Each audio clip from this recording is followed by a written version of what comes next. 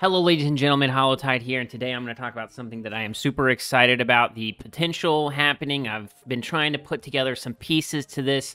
I've seen other YouTubers make videos on just the surface level information of what we're going to talk about today, but I'm going to take it one step farther, deeper. No, not deeper. We can't, you don't step deeper. One step further into the tinfoil hat conspiracy theory thing that's going to happen in season four the thing is, though, is that I really do believe that something major is happening with season four. If you've watched the channel, then you've known for a while now that I think season four is like this real turning point for Halo Infinite. And speaking of my previous videos, I can tell that 96% of you do not sub to the channel who watch these videos, and that's wild to me. So if you enjoy Halo and you don't hate me, go ahead and throw a sub my way. We're grinding away to 15k. I would greatly appreciate it, and it would really help the channel out a lot. People tell me all the time that they don't think Halo is still popular, so let's prove them wrong. Anyways, a funny interaction happened on Twitter earlier with a user named Vincent Gat and Unyshek, Vincent said, I wonder if I just randomly tweet nonsense from time to time if I can be a Halo leaker too. Just be like, Jun is in season four. He has a mullet now. Suddenly gained 4,000 new followers and get posted to Reddit. And Unyshek said, I say go for it. Seems like that's what others do. That being said, I only tend to talk about leaks and things coming in the future for Halo Infinite when it's from people that I trust. And one of those people is the infamous or or famous, I guess, Surasia on Twitter. And something that kind of started this off was he tweeted, "What if I told you the hazmat core in season 4 is in a fracture?" Now that's, you know, it, it that's cool. It's whatever. It means that this hazmat core is to be canon. And they, they kind of back up this theory with the season 4 fracture is to be Tenrai 2 and I've seen other YouTubers report on that. I think it's safe to say that we will probably, this is what's happening. Now, you may be asking yourself, why is that a big deal? Why is the hazmat core not, you know, the fracture core a big deal?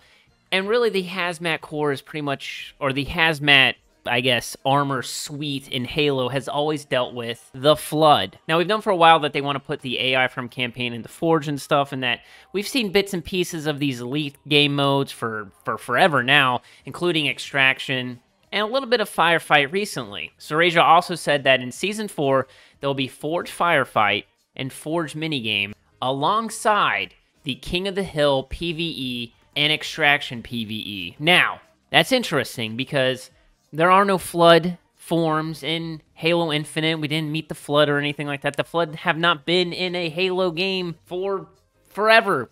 And that's something that people have wanted back so bad. But there have been leaks here and there about flood forms and stuff being available in the game files in Forge um, that hasn't been released to, I guess, the retail side of things. So we're getting a hazmat core. We're getting extraction and this King of the Hill game mode against uh, PvE we're getting a Forged Firefight. We're getting another game mode that's called Bastion. Doesn't really have a lot of info on it. Uh, tweeted a picture of it, and it just says, you know, wart, wart, wart, wart, wart, wart, wart, wart, wart. There's your elite Hollowtide cross play. Wait, what? The dictionary on Google says that it is a part of a fortification built at an angle to the line of a wall so as to allow defensive fire in several directions. Now, again, what if we're fighting the flood? What if this is how they make the flood uh not I mean it's already canon, but like how they bring it back into the game. People have wanted the flood back for so long. They've wanted that horror aspect back into Halo for so long. I, we're gonna get season two of the Halo show. If the flood is not in there and that show doesn't turn into like a horror show, I'm gonna be super disappointed.